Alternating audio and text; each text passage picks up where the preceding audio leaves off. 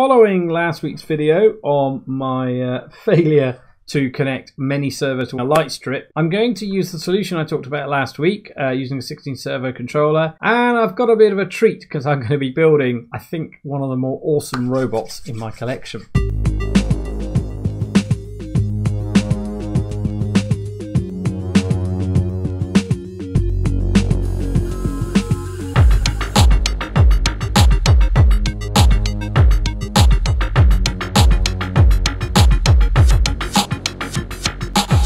I had a bunch of mailbag items to start this.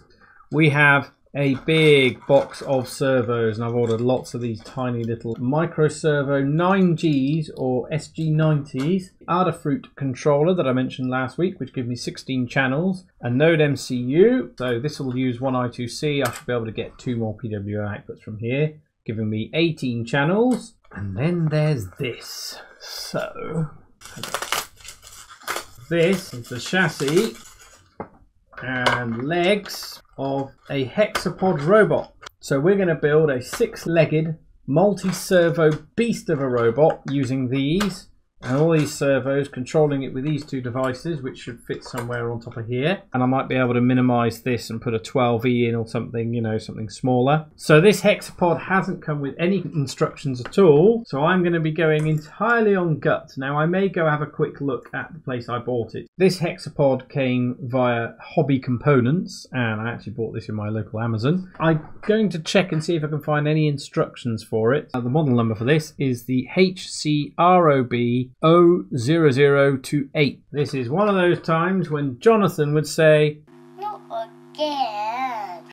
upon seeing many, many tiny laser cut acrylic parts with backing. It's worth observing that I got the same parts with two different kinds of backing. Some with this paper backing, some with this uh, plasticky backing. So this part with the plasticky backing has got a smoother finish there's a rougher finish on the ones with the paper backing. On this particular part, and I've now peeled a few of them, there is this little bit sticking out here. I don't believe that's supposed to be there. I believe that that's perhaps where they needed to have a bit more of an overlap on the uh, end of the cut with the laser. I don't think it'll get in the way of normal operation. It's just a little bit ugly. Perhaps once I've assembled it all, I'll have a go at seeing if I can uh, cut or file it off. Let's try and make one complete leg assembly and start to then mirror it and make the others. Okay, so the first part is I've put the servo horn on top of that there. That shaft looks like it's in the middle, but if it isn't, I've got this screw here that I can loosen it. Now there's a smaller screw in the packet with each servo horn. I can tighten that in there. That will then fix this into the back of that servo horn there, will it? Not quite a self tapper, so uh, it appears to be turning uselessly. No, it's not. Okay, so let's try the other one that appears to be a self tapper. Yeah, that's quite happily tapping right the way through the servo horn. It's going to clip if it goes too far, so I wonder if I can use that to kind of make a pilot hole to this other one. Kind of works. A notch further, fairly rigid, and I'm actually only feeling there the lash inside the motor. Drop in this one. Again, tap through here, reverse that and use this tiny screw.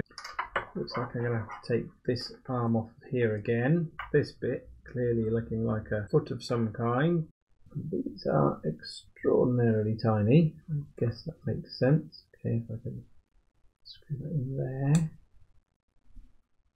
Isn't quite lined up. It's I'm having to actually drive it through this bit. I'm now having to hold the nut on without destroying that cable there. Some legs are going to be this way up, some legs are going to be reversed, left and right.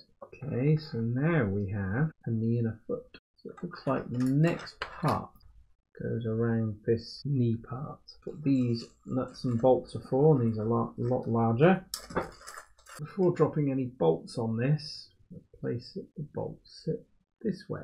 That seems to be pressuring the cable, which I don't like the sound of. Not too much, I suppose. But then what's stopping this just popping out of the top there? If that's held on this way, doesn't appear to be enough to hold it in place, but okay, I mean, let's, let's go with these instructions and assume they're not making it up. So they're saying like this, and then I tighten nuts against here. Being acrylic, I don't want to over tighten it because it will crack. Well, it's beginning to feel like it's going to get quite nice and rigid there, which is what I want. I want a rigid connection. I don't want this to be falling off or flopping off, given that well, it's the leg. So going to be holding up the robot. I'm probably also going to stick something around the bottom here like some electrical tape to give it some rubber grip where it gets a little harder to see what's going on. These are actually held in place there. One of those moments where you feel like you need four hands trying to hold this servo and this bolt in place. Okay, and I think for this third part, we're going to follow the same procedure we did for these two, where we take so bolted on there, take a servo arm, three screws out, and I'll not bolt it down till later. Again, I'm using that one to tap the hole, and then the kind of tiny screw to actually stay in place. Okay, we've got that in place. And the final part of the leg, yeah, there's plenty of clearance for that, is to bolt this in place. Okay, we now have one leg on the chassis. So now we've got one, we can kind of rinse and repeat for the other five.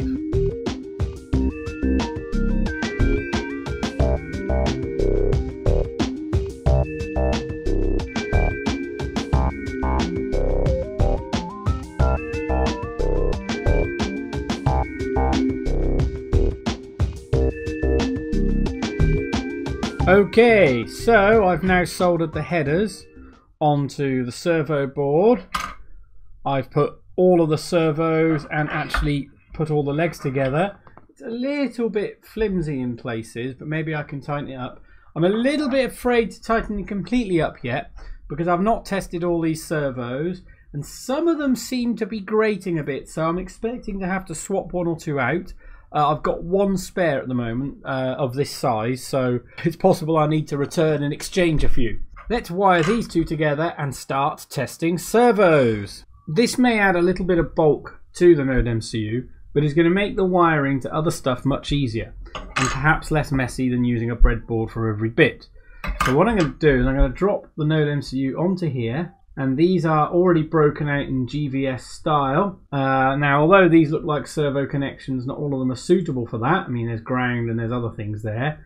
Uh, but however, it's going to be far easier to connect up and any sensors we want. So uh, this is another device that came from uh, IC Station, which they sent to me to uh, build something with. So it's a breakout for the ESP8266 for the uh, Node MCU. It's got uh, a nice marking here, so you can see which way it goes. It's got a cigar style plug here, so 6 volts to 24 volts. And we're going to probably want the 6 volts so we can actually power this and these. If I plug it in via USB, is there actually going to be power coming out to the servos at all? So I'm going to be able to use two of these for two of the servos and then this for the other 16 because this is a 16 way controller. So we've got here four pins for each of these pins here. Handy, especially when you need more grounds. We've got extra ground and 3 volts. Ground voltage USB, 5 volt grounds. VI, which I presume is that okay voltage in again? And then these are just individually breaking out those pins. It's interesting how there's far fewer breakouts for that side than there are for this side, but that's because this side has got all the data pins where they're going to be more useful. And I wonder, is that a tiny little LED to show that it's powered up? There's some components under here that I've uh, just covered over, which look like they're all involved in power, so they're probably regulating this down to 5 volts or whatever voltage in for this. This is. The uh, I2C pins, ground, VCC, and I'm presuming the difference between VCC and V plus is VCC is voltage for logic and V plus is voltage for the motors. Let's get this handy thing around. And does that say SDD0, SD clock? Okay, SDO and clock. Oh, it does have SOSK for that ground. So I guess that's going to be for my I2C. Now, is it 5 volts or 3 volts? Logic, 3 to 5 volts. Okay, well, I guess if we're at 3 volts, logic here should be 3 volts. I don't know what OE is. Is that something like device enable? Uh, let's go look at the datasheet. As always, the uh, Adafruit tutorial for this is actually pretty good. Uh, they're using exactly the same servo as we're using. And uh, classic Arduino other wiring. So VCC, ground, SDA, SCL, which we're of course doing to our own device. So this one we do not connect. VCC pin is just power for the chip itself. If you want to connect servos or LEDs that use the V plus pins, you must connect the V plus pin as well. as high as 6 volt even if VCC is 3.3 volts. We suggest connecting power through the blue terminal block since this is polarity protected. We'll remember this, it's not a good idea to use the Arduino 5 volt pin and that also is the same for the Node MCU. For your servos you're going to get brownouts, you can get uh, erratic overheat resets, so on. And we've seen that before with TankBot, so uh, let's not do that. Let's make sure it's separately powered. It doesn't suggest that actually it's going to put power out on that uh, VCC pin, but I will tether it to get it to run initially. Connecting a servo, there's nothing special here. Attaching more servos. If you need other additional boards can be changed, but I'll have a few data pins left on my uh, Node MCU, so I use those for one or two additional servos. Now, annoyingly, these are not servo style. Those are not GVS. That is the same pin broken out four times. In a way, it's handy for wiring, and maybe I'll use this for other breadboard projects, but uh, for this one, it means I might have to do a little tiny bit of point-to-point -point wiring for the two servos that are left. Okay, one small failing of this board. So they got some lovely screen printing on there, you know, showing what's uh, going on. It's the Node MCU base version 1.0, but nobody's bothered to print the polarity of this connector. I am going to have to go and uh, probe each of these bits and see which one is ground and which one is uh, uh, the voltage. Yeah, not entirely impressed with that. It wouldn't have taken much on the silk screen to print the polarity of this connector.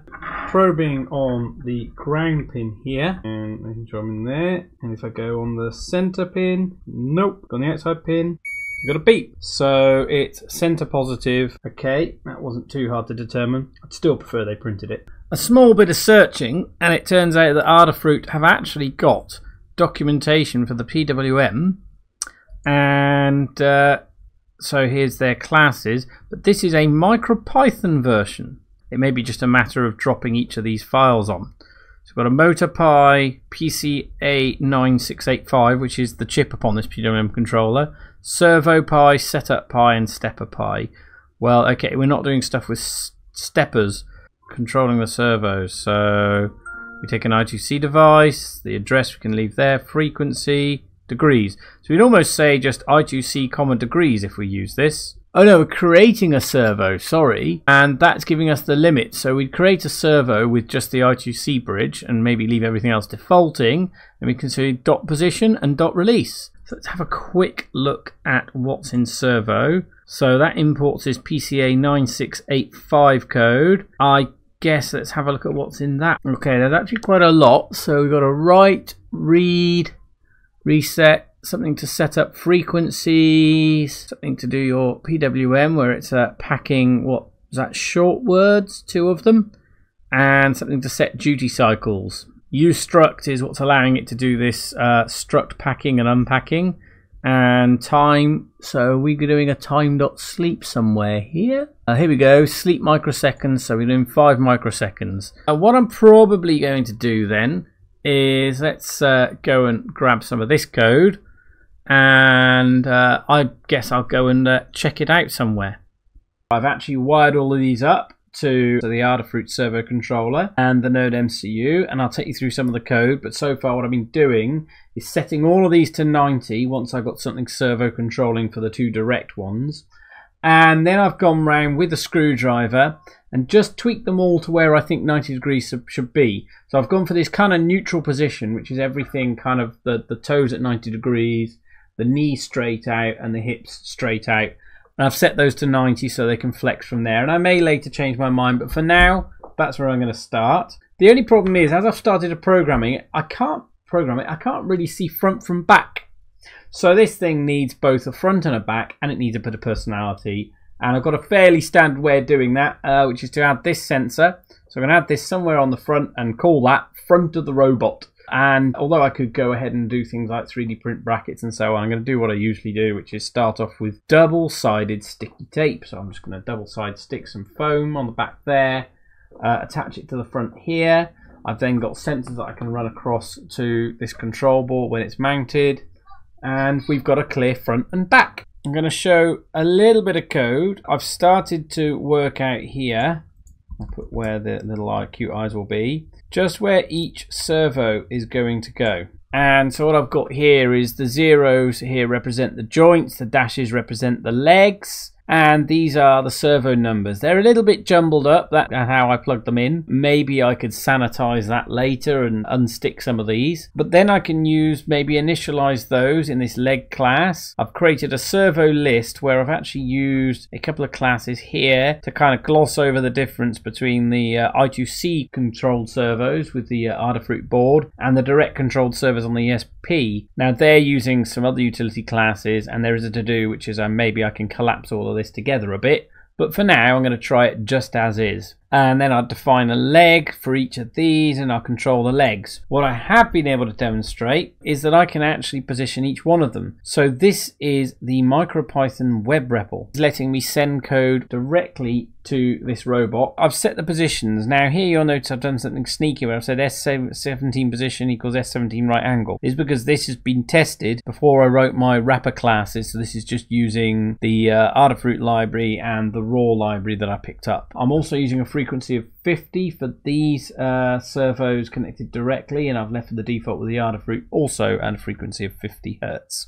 Every one of the servos positions there has been no problems. There was some jitter on this one until I got the tuning right and there's a little bit of jitter if I lift some up some of the others start to take the strain. So if I say take S dot position 1 up so S dot position 1 and we'll take that to 60 so maybe what I need to do is I need to do S position 7, 60.